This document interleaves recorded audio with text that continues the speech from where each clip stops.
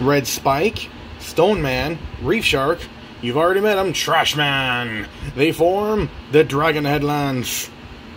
Full video is coming whenever.